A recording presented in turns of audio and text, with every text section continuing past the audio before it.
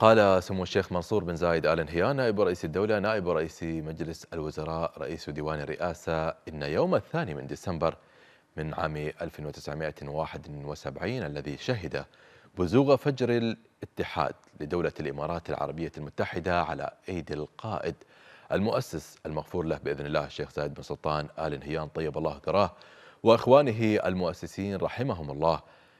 مثل بداية حقبة تاريخية وانطلاقة مباركة لدولة فتية بعدما توحدت الكلمة والإرادة وتلاقت الأفئدة والقلوب حول قيادة سعت بكل إخلاص إلى أن تكون دولة الإمارات العربية المتحدة في المقدمة على الدوام.